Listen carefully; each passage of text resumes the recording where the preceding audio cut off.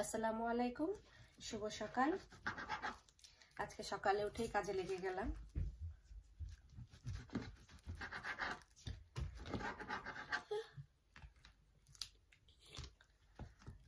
আজকে বাচ্চাদের টিফিনে স্যান্ডউইচ দিব সেই জন্য আজকে ব্রেড কাটা।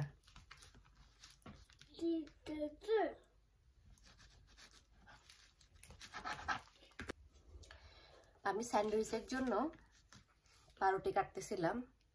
তো তখন মনে হইল যে এগুলো ফেলে না দিয়ে যদি কিছু করতে পারি। তো নর্মালি আমাদের বাসায় অনেক ব্রেড ক্রাম লাগে। সো আমি এগুলো দিয়ে এখন ব্রেড ক্রাম বানাবো। তাই জন্য এগুলোকে এখন রেখে দিচ্ছি।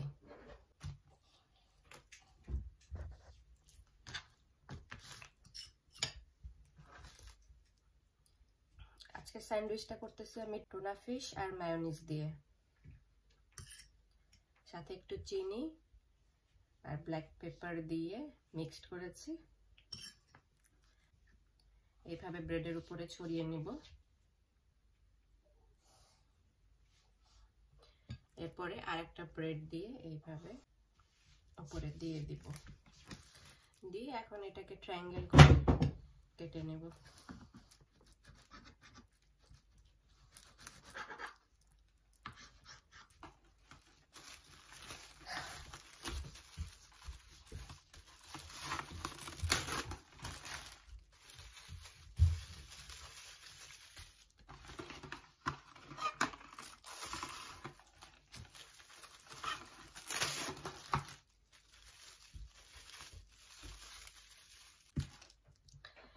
তাহলে সাথে থাকুন।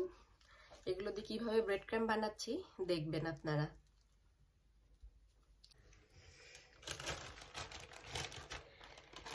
পাউরুটির এই সাইডগুলো আমি এখন এগুলোতে নিয়ে নিব, একটা জায়গার মধ্যে।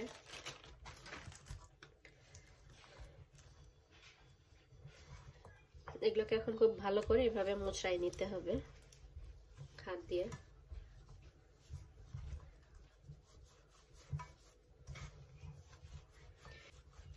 দুই হাত দিয়ে এমন করে নিয়ে হাতের মধ্যে ডলা দিতে হবে।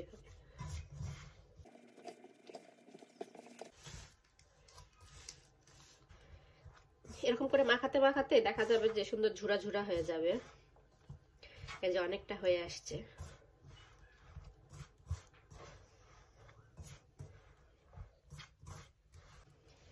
এখন এরকম একটা চালনির মধ্যে এটাকে ঢেলে নিব।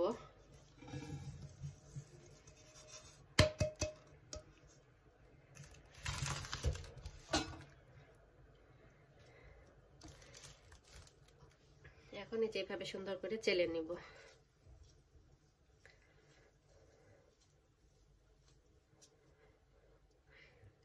এই যে এরকম হয়ে সুন্দর হয়ে পড়ে যাচ্ছে।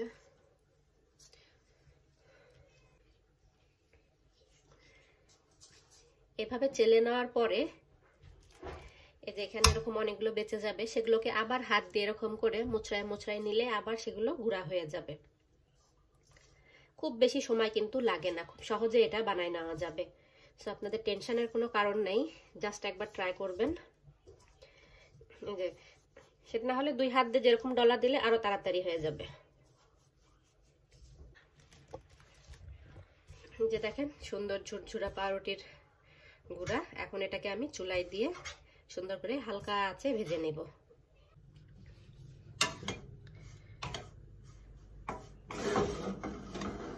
খুব বেশি জোরে জাল দেওয়া যাবে না। বেশি জোরে জাল দিলে পুড়ে যাওয়ার সম্ভাবনা থাকতে পারে। সো মিডিয়াম আছে, নেড়ে চেড়ে একটু ভেজে নিতে হবে। এটা বাহিরেও কিনতে পাওয়া যায় খুব অল্প দামে।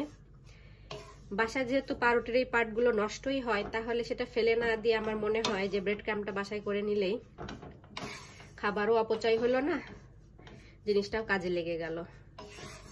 সেজন্য আমি এখন থেকে আর ফেলে দিই না। এটাতে এরকম ব্রেড ক্রাম বানানি। লাগেই, সবসময় তো লাগে ব্রেড ক্রাম বাসায়।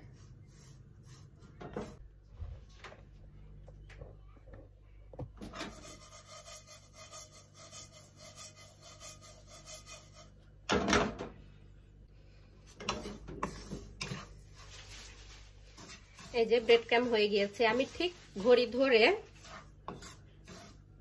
সাত মিনিট, ঘড়ি ধরে আমি সাত মিনিট ভাজলাম।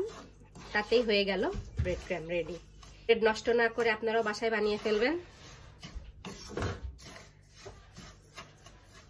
এখন চুলা এভাবে কিছুক্ষণ রেখে দিলে, আমি তো চুলা বন্ধ করে দিয়েছি সাত মিনিট পরে। এখন এই আছেই বাদ বাকিটুক মচমচা হয়ে যাবে।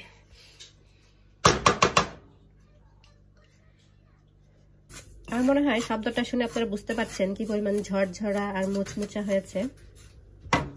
সো এটা দিয়ে আপনাদেরকে আজকে ডিম আলুর চপ ভেজে দেখাবো।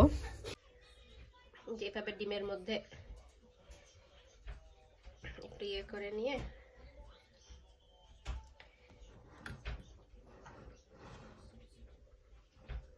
এরপরে যে আমার বানানো বেড ক্র্যাম্পের উপরে এখন এটাকে একটু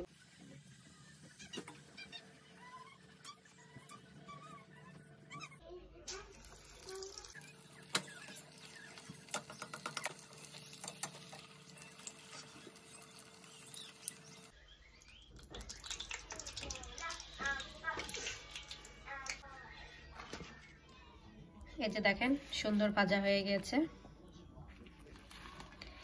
আলুর চপে বেশি ডবল কোট ভালো লাগে না খেতে। এক কোটি আপনারা চাইলে আবারও দুই কোট দিয়ে নিতে পারবেন। সো আমি যে এক কোটি দিয়ে নিলাম এবং এই যে দেখেন, এগুলো অনেক মুচমুচা।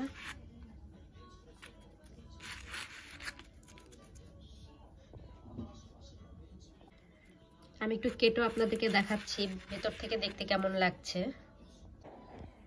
এই যে, এরকম একটা পাতলা লেয়ার হয়েছে।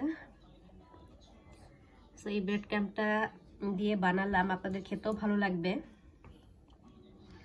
সো এই ছিল আজকের ভিডিও সবাই ভালো থাকবেন, সুস্থ থাকবেন। আল্লাহ হাফেজ।